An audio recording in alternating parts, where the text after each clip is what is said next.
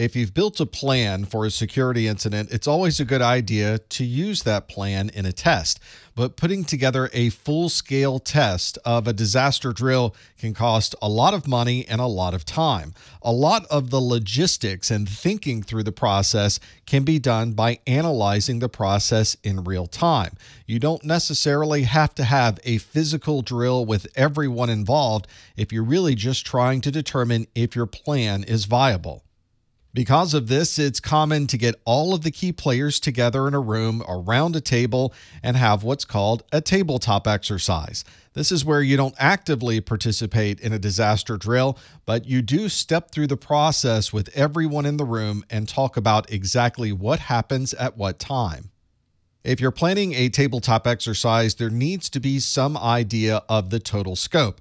Will this be an internal group of people going through a disaster drill, or do we need to bring in third parties from the outside, from law enforcement and other organizations, to also participate in the drill? We also need to think about how large the scope will be for this disaster. Will this be contained in a single room because we had a pipe break, or will this be a very large scale disaster that involves many different people? If possible, you'll have everyone in the room that will need to participate in this tabletop exercise. And it may be the case that they don't know what they're walking into. They only know that they're coming to participate in a tabletop exercise, and only then do you provide them with the details of what the disaster drill might be. During this tabletop exercise, you'll be able to put into action all of these plans that you've made. But you also need to be flexible. During a disaster, not every piece of information will be available and not all resources will be available to you. In that particular case, you need to use this tabletop exercise to find out where the gaps might be and what some contingencies might be if a real disaster was to occur. Once the disaster exercise is over, we can then look back at how we did. To be able to do that, we need to understand what the total scope was of the exercise and what the objectives were to get everything back up and running. Our after action report can also include the methodology of the disaster drill so that we know exactly what the explanation was for the entire exercise.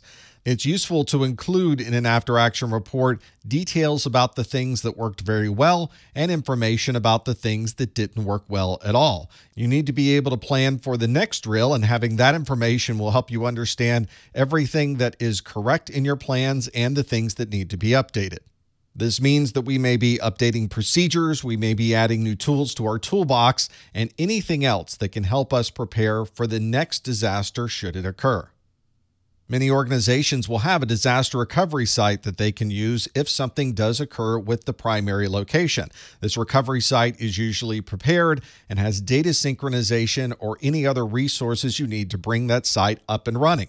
When a disaster is called, all of your business processes will then fail over to this disaster recovery site. This site may remain up and running for weeks or even months, depending on the scope of the event, and eventually you'll need to revert back to the original location. This is a relatively involved process to make the switch over to the disaster recovery site, and it's just as complex to move everything back to the original location. It's important to document things as they occur in both directions so that as you move things into the disaster recovery site, you'll understand what the challenges might be for moving things back.